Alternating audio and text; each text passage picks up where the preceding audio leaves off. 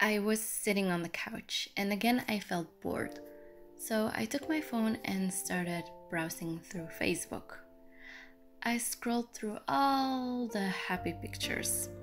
It was 20 July, so little more than one year ago. Unlike this year's summer, last summer was so sunny and hot, while I felt cold inside.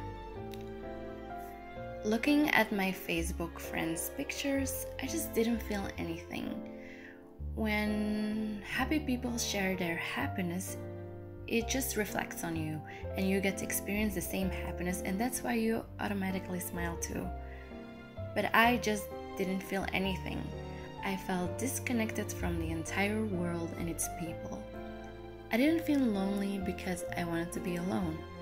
I just had the constant feeling that I was wasting my life and I wasn't doing anything special, that I wasn't good enough. After scrolling for almost an hour, the Almighty Facebook recommended me a Facebook group. Well, they say that the internet knows you better than you know yourself. Well, believe me, it's true, which is really scary, I know. But if I didn't saw that group recommendation, my life would be totally different. The group that I'm talking about is the Kawaii Journaling and Stationery Lovers Club by Rainbowholic. You know, I just joined without thinking, and after a few days looking at people's beautiful journaling creations, I thought this actually seems fun. So I went to the mall and I got a plain A6 notebook. When I got home, I started right away. I mean, I was already a stationery addict, I was already into bullet journaling, so I had all supplies ready. My first page was sort of an introduction. I just sticked a picture of myself, and I also have written down some rules that I never followed eventually. I shared my first journaling spread and I got so many nice comments.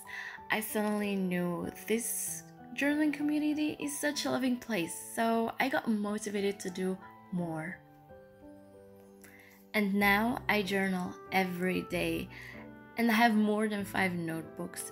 Every notebook has its own purpose. Journaling has taught me so many things. Writing about the things that happened made me relive the day the happiness and the sad parts. This allows me to reflect on my day and learn from the bad decisions that I made, but also be grateful for the good parts in my life. 15 minutes morning or evening journaling is like emptying out my negative thoughts or ideas that have been wandering through my mind. And of course, if you know me, I always try to add some creativity to my journaling entries. This relaxes me and makes me experiment with different stationaries. And also, it kind of gives me a reason to keep buying stationery since I don't bullet journal a lot anymore. So, with journaling, I get to use so much more, and that also makes me so happy.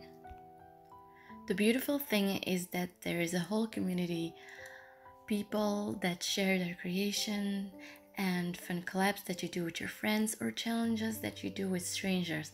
But after it, you become friends because you have something in common.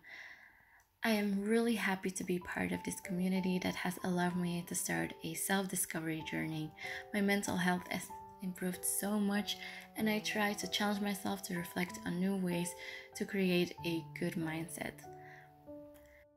I don't say that it's very easy to just change your mindset or think positive like um, pushing a button, but journaling really helps you to keep track of things that you do and really see your progress.